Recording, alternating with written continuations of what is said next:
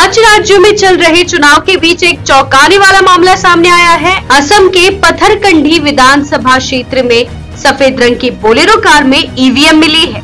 A S दस B शून्य शून्य दो दो नंबर की ये कार करीमगंज ज़िले के पथरकंडी सीट के विधायक और बीजेपी उम्मीदवार कृष्णेंदु पॉल की है। उन्होंने अपने चुनावी हलफनामे में भी इसका ज़िक्र किया है।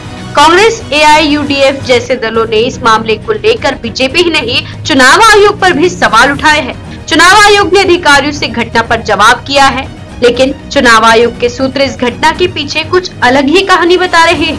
बहरहाल, चुनाव आयोग ने चार अधिकारियों को सस्पेंड कर दिया है और बूथ पर फिर से वोटिंग कराने का आदेश दे दिया है। इधर कृष्णेंदु पॉल ने ईवीएम चोरी जैसी किसी भी बात से इनकार किया है। B S crime India news के साथ जुड़े रहने के लिए YouTube website Twitter Facebook Instagram पर वीडियो देख लाइक कमेंट और शेयर करें। साथ ही यूट्यूब चैनल को सब्सक्राइब कर बेल आइकन दबाना ना भूलें और गूगल प्ले स्टोर से B S crime India news dot com के एप्लीकेशन को डाउनलोड कर रोज़ाना ताज़ा खबरों के लिए हमारे साथ बने रहे।